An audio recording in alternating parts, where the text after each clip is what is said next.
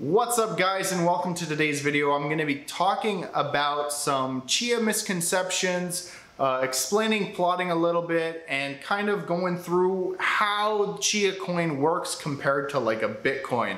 So first things first, Chia versus Bitcoin. Is one really greener than the other? Well, yeah, technically right now Chia is way more efficient than Bitcoin because an ASIC for Bitcoin mining guzzles thousands of watts, uh, usually 1,000 to 2,000 or higher depending on which one you have, how new it is, etc, etc. And Chia uses, well, less than a thousand watts for a full system because uh, hard drives don't use that much power. But if we continue and continue to expand, eventually I could see this uh, not overtaking Bitcoin, but getting to the point where it is a large amount of power.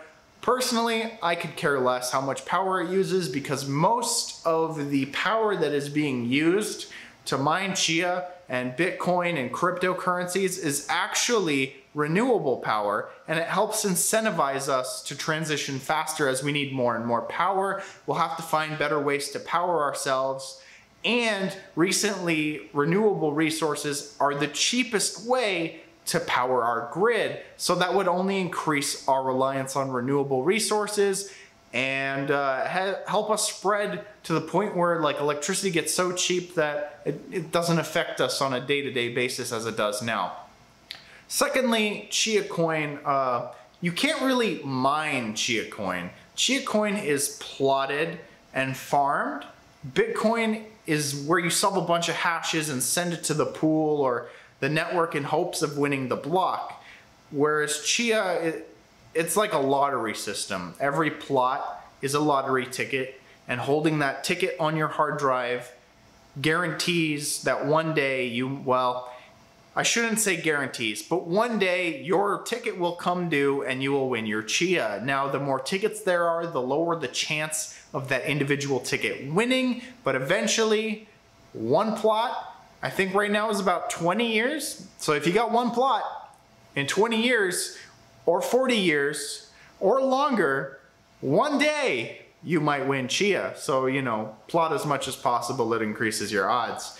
But I've seen a lot of people asking me, hey man, um, I plotted to my hard drive. Can I delete it? Can I format my hard drive? Like, do I need to keep this space? What do I need to do? Where do I move this? Uh, I plotted to one destination. Can I move it to another? These are great questions. Uh, if you make a plot, don't delete it because you have to do it all over again then. Your plot has to stay on your hard drive as long as you intend to mine Chia. If you decide, hey man, Chia's not for me, I did this whole thing, it was kind of cool, uh, just did it for fun but I want my drive space back. Go ahead, format your drives. Not a problem. You can, you can format, you can delete, whatever you want to do. But if you want to retain the ability to win Chia in the future, you need to keep those plots on your hard drive with the computer turned on, um, which is another topic. Can you turn off the computer or can you unplug the drives after they're plotted? Yeah, you can unplug them, but you won't win anything because you need to have the hard drives powered on and connected to the internet in order to win. If you have a lottery ticket and you don't get to the place that gives you your lottery ticket in time, they usually give it to somebody else. The same thing happens in Chia. If your hash wins or your lottery ticket wins in Chia, but you're not there to say, hey, I have that lottery ticket, you don't get it. Um, I know it sucks, right? You're thinking you might be able to put a bunch of hard drives somewhere and just hopefully get Chia because you made that hash. Well, unfortunately, that's not how it works. So you need to keep your hard drives on. You need to keep the plot file on the hard drive at all times. But you can move the plot. And that is not a problem as long as the place you're moving it to, the farmer knows about. So if you plot to a solid state and you don't use the final destination setting in the plotting software, you can move it once, once it's done, hits 100% and finalizes, you can copy that plot and paste it somewhere else. Or better, cut that plot and paste it somewhere else because Another point, you cannot just copy plots and put them wherever you want. You can't clone plots. Every plot is unique and is an individual plot. If you make 1,000 copies of the same plot, it is the same lottery ticket. Is it like if you went and got a scratch off ticket, right? You scratch it off and you don't win. If you copy that a thousand times, you're still not gonna win. Um, it's just gonna be basically a photocopy of the same ticket that you have. So do not copy. I've seen a bunch of people do this. Uh, they messaged me on Instagram about it and they filled up a one terabyte drive and I felt so bad because they spent a bunch of time doing it. Do not copy your plot files to the same hard drive over and over again, filling it up. That you it's not a way that you can win or cheat the system unfortunately. You have to make every plot. They're all unique and all individual plots need to be represented if you want to win. So other than that a couple of other questions i've got is um, how do you mine chia? Well chia is actually farmed. You can't mine it. You have to plug it into a computer with a hard drive and fill it up. Um, the hard drive doesn't really matter. It doesn't matter if it's a solid state or a hard drive or a SD card or a USB drive. It, Chia Network doesn't care where your lottery ticket is as long as that lottery ticket is ready and available when it comes time to uh, win the block, right? You, you pass the filter as they call it. Well, what, what's the filter? Um, well, Chia had this interesting like design theory that they did when they made Chia Coin uh, to help it be even greener. So to use less power, you don't want your hard drives constantly spinning, right? You want to have them spin down because they use basically no electricity when they're turned off. But the problem is when you need to check the drive for those specific files, you need to turn on the drive for a second.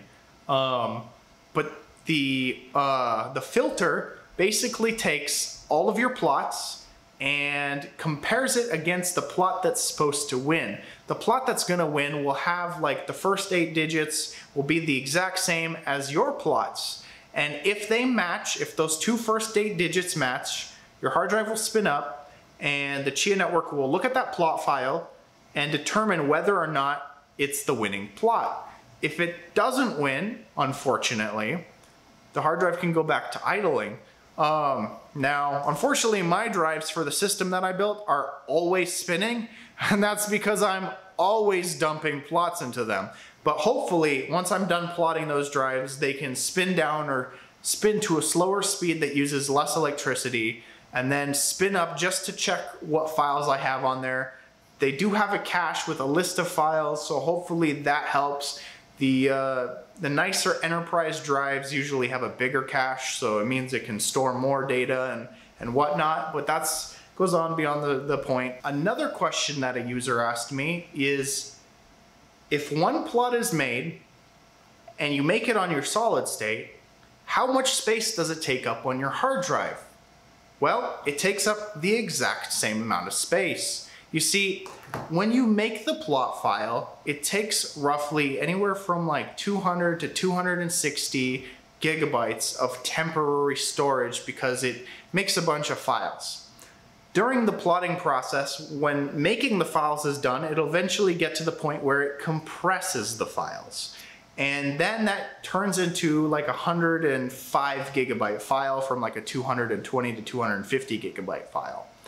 Meaning the temporary space is given back after the plot is done. And then in the software, usually, if you set the final destination and the original destination, it'll, or the temporary destination, it'll work everything over here. And when it's done, it'll compress it and then it'll move it over here into your hard drive and then delete it from here. So when you're done making a plot, you actually don't have to go back to your temporary drive and delete anything because it does it automatically.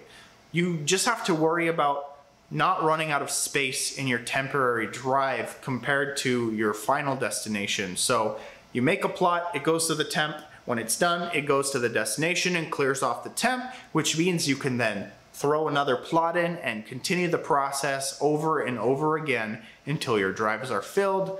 Um, that's most of the questions that I've got so far, but if you guys have questions, let me know down in the description below and I will try to answer them as fast as possible. Or if a whole flurry of questions come in and misconceptions and a bunch of things that I see going on, uh, maybe I'll make another video about it. But I really appreciate you guys tuning in. Like I said, if you have any questions, please, please feel free to link it down in the description below. You guys are awesome.